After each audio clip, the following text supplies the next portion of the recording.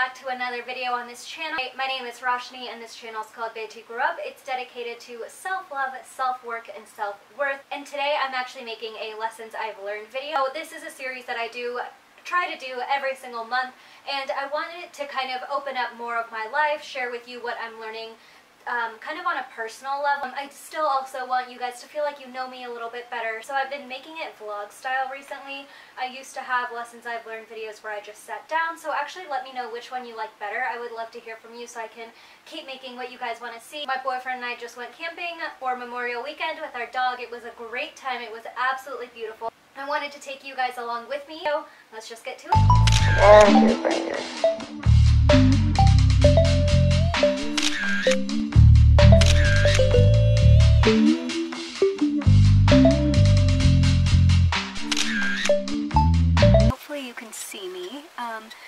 To give you a cute little tour of this camper that we have. I wanted to give you a tour of this cute little camper we have.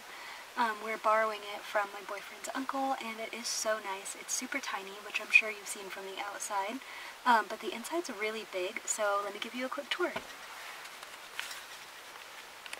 So there's a ton of storage space. So right in here we have like our toiletries, some starter wood, etc. There's like a little thing for like a Bluetooth speaker and a DVD player. There's a little TV screen.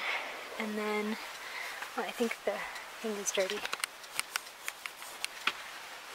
Okay, and then there's more storage in here. We have food in here. There is my drone um, suitcase with stuff in it, and then we just have blankets, um, water, and then my books and my journal. But you can just see through the screens, so there's like a window. So you can see through there. There's a little bug net, so you can keep it open if you want to. Um, there's a little skylight, and you're supposed to keep that vent open when you're sleeping, but it does have like a netting on it. And then there's the other window, so there's two entrances. And then as you can see, there's also shades up there. Um, so you can pull it down when you're sleeping and just make sure it's extra dark. And it has so much storage, I think that's the best part. So I have like keys, sunglasses, like toilet paper, um, my camera bag and stuff, like all of that right there. Um, and then on the other side, I'll show you in a little bit, but there's like a sink, um, there's like a little sink and a chopping board and like a little mini kitchen back there. You have to like fill the sink up with water and then it'll work. Um, but yeah, so that's where we can cook. And the cool thing is that these storage boxes right here, if you can see, it opens up into the back. So you can reach it from both sides, from the outside, whether you're using the kitchen, or from the inside.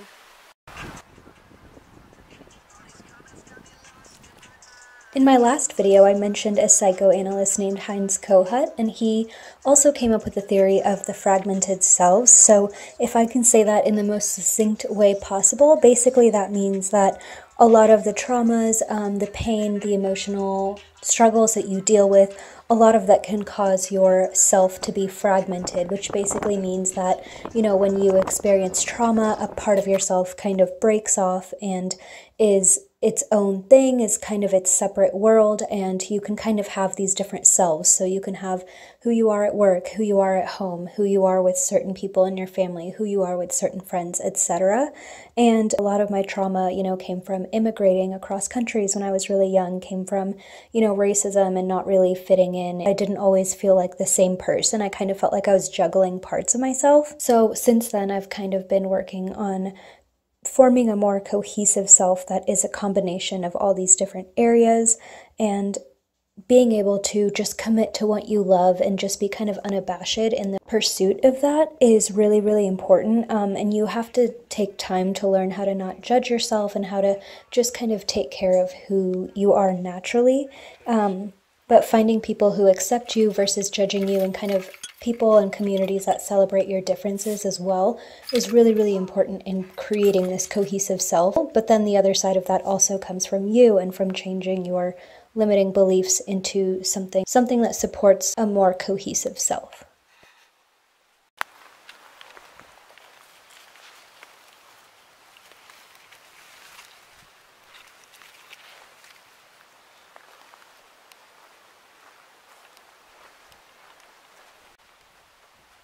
One of the lessons that I've learned this month that's actually been culminating over a few years is uh, just learning more about how I self sabotage and how that presents in my life. So I remember, you know, years and years ago in college, I couldn't even fathom the idea that I would sabotage myself. Like, I, it just seemed like the craziest thing, but I knew that I was doing it, um, but it was just so hard to accept. So over the last few years, I had to really accept that about myself and figure out how it manifested the ways that I self sabotage because it changed over time. And so um, when the habits themselves change, change, it becomes harder to realize that you're doing it, but there is a much deeper root problem that's there that causes you to self sabotage.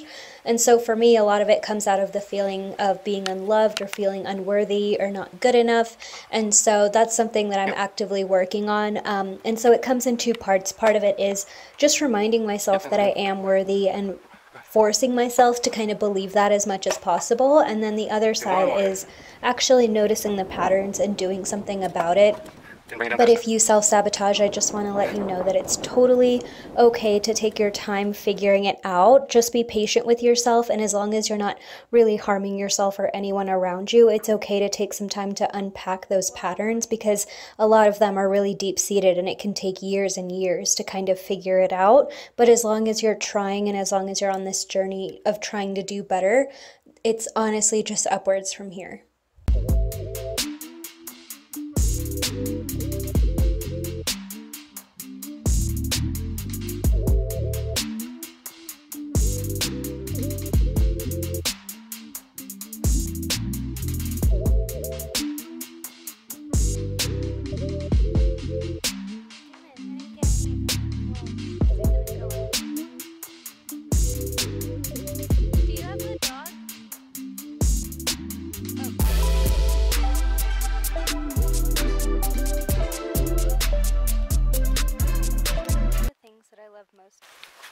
Okay, so I wanted to give another quick tip. Um, I'm about to change. The sun is going down, as you could probably see behind me, so it's definitely getting super cold. And before I change, a really great camping tip is, I think they're in here somewhere.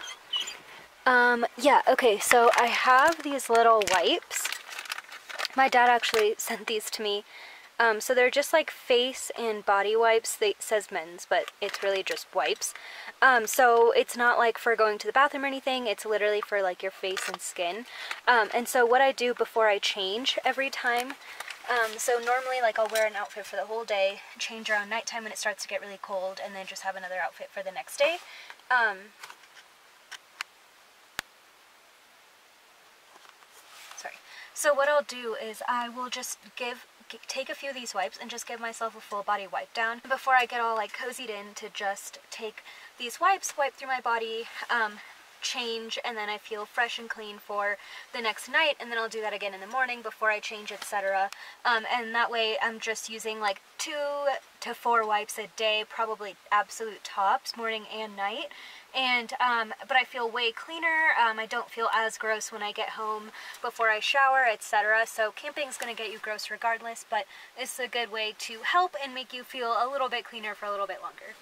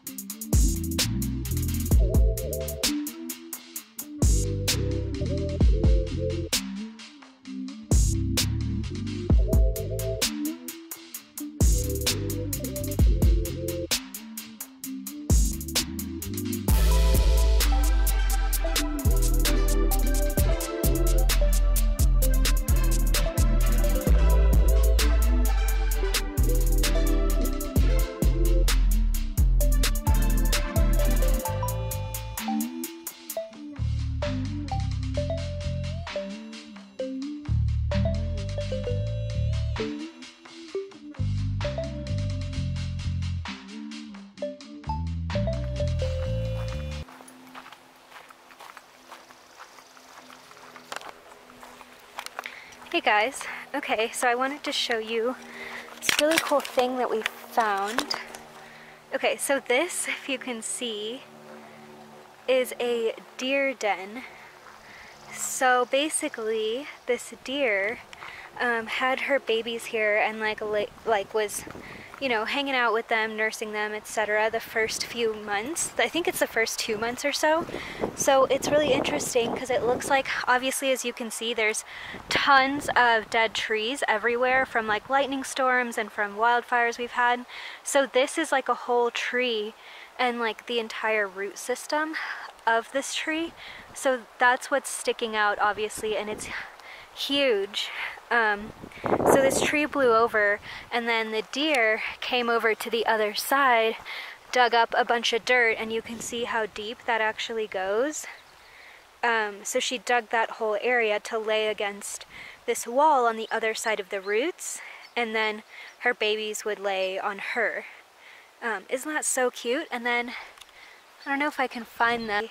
There's all these markings and stuff and all of these are from male deer rubbing off their antlers on the tree. There we go. Yeah, so they rubbed their antlers on the tree a bunch and there's a few trees like that around here and those are only the male deer that do that. But yeah, it's super interesting. This campsite has been so beautiful. I'm so glad we came.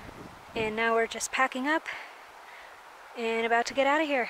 My business and YouTube is actually one of the sources of my second lessons, which is just how much having something that I can return to that's a creative outlet has helped me in the last uh, year or year and a half or so, um, it's helped me so much just by realizing how much I'm growing, how much I'm changing, and it's something new that I show up to. And it's shown me that, you know, healing really isn't linear, that I have, you know, a lot of ups and downs with mental health, but it's something that I can always come back to. It's something that I can bring along with me and it's also something that I've been able to make a lot of decisions on it's some it's a place where I have to take full control and where um, you know I'm I'm the one kind of deciding what's what's happening next and what I want to do. And I think that that has actually done wonders for my anxiety on a long-term scale because for a lot of people that have anxiety, and for me especially, it's really hard for me to make decisions or to commit to things sometimes.